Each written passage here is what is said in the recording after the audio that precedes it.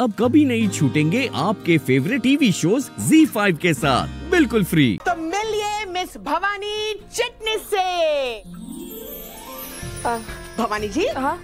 आप हमारी ऑडियंस को आज बताएँ कि आज आपके केटरिंग के ऑर्डर में से आपको कितना मुनाफा हुआ। आ, सांग सांग ना। नौकर। भवानी जी थोड़ा शर्मा रही मैं आपको बता देती हूँ। तो आज हमें मुनाफा हुआ है? पूरे एक लाख का। हाँ जी हाँ जी हाँ जी। फ़ायदा तो होना ही था। एंड में मूंग की दाल की बर्फ़ी किसने बनाई थी?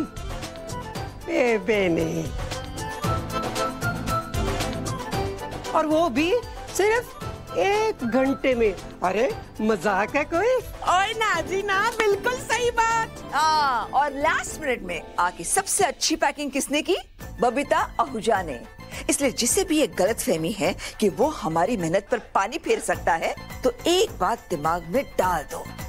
बबीता आहूजा जिस टीम में भी होती है, वो कभी नहीं हारती। नेवर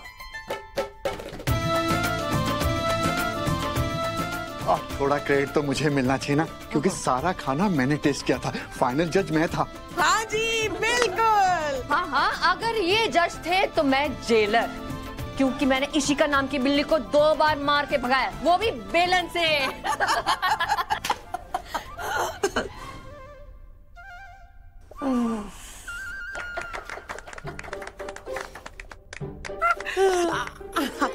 तो हम आपको मिलेंगे मेरे अगले वीडियो में तब आप भवानी चिटनेस के हाथ का मज़ेदार खाना खाते रहिए। ट्राई ज़रूर कीजिएगा। ओके बाय ये सब क्या हो रहा है? सोसाइटी चैट ग्रुप पे वीडियो बना के भेजा जा रहा है ताकि ईशिका को पता चल सके कि वो हार गई और हम जीत गए। दिखाने के लिए कि जलाने के लिए? दोनों बात तो एक ही है ना? अब वैसे कितने फनी है ना ये लोग? जब बाहर से इन पे कोई उंगली उठाता है दोनों परिवार एक हो जाते हैं एक साथ आवाज़ उठाते हैं वरना तो ये लोग एक दूसरे के दुश्मन बने रहते। हैं दुश्मनी छोड़ो एक दूसरे को काट खाने को तैयार हो जाते हैं। निमी निमी को देखो। इसके बारे में सोचना होगा। मतलब मतलब राजीव तो क्रिमिनल निकला। बात इतनी आगे बढ़ गई है कि राजीव और निमी के बीच सुलह होने की कोई गुंजाइश नहीं है। और निमी अभी यंग है। हमें इसके लिए ना अच्छा खानदानी, रिच लड़का देखना चाहिए। हालात जैसे भी हो, विराट और दिलदार जी बिज़नेस मैनेज कर लेंगे। मुझे पूरा भरोसा है। लेकिन निमी निमी बहुत भोली है। किसी की भी बातों में आ सकती है।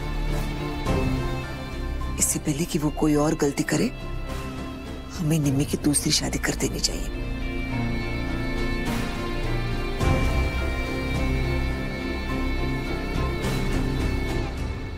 Z5 ऐप डाउनलोड करें और देखें सारे एपिसोड्स बिल्कुल फ्री